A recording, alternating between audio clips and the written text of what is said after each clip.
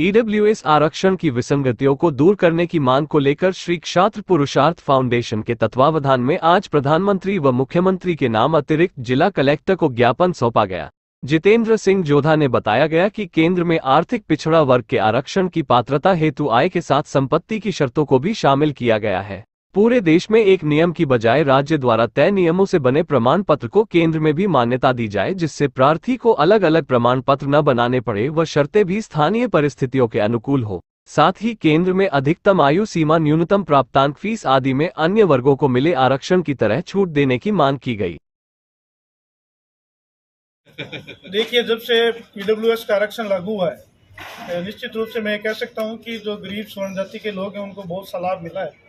लेकिन EWS e की भौतिक, भौगोलिक स्थितियाँ अलग अलग प्रदेशों की अलग अलग होने से कई विसंगतियाँ, जैसे ज़मीन की जो उसमें रखी गई है शर्त, इस तरह की विसंगति हमारे राजस्थान में आ रही है।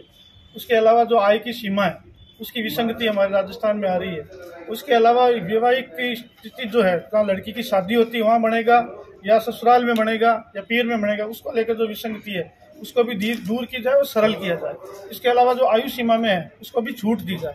हॉस्टलों में एडमिशन को लेकर जिस तरह के अन्य लोगों को आरक्षण वर्ग में लाभ मिलता है, उसी तरह के ईडब्ल्यूएस के लोग भी जो है, उनको छात्रावास में रहने की सुविधाओं चाहे और अन्य सरकारी सुविधाएँ या चाहे बीएड करने की सुविधाएँ, उनमें जो छात्रवृत्ति मिलती है उस तरह की सारी सुविधाएँ इन लोगों को मिले ईडब्ल्यूएस के अभ्यर्थियों को। इस मांग को लेकर, उस कानून को सरलीकरण को लेकर, हम सब लोग आज सर्व समाज के लोग जो ईडब्ल्यूएस आरक्षण इस श्रेणी में आते हैं, हम सब लोगों ने मिलकर माननीय प्रधानमंत्री जी को और माननीय मुख्यमंत्री जी के नाम ज्ञापन दिया कि इसका सरलीकरण किया जाए।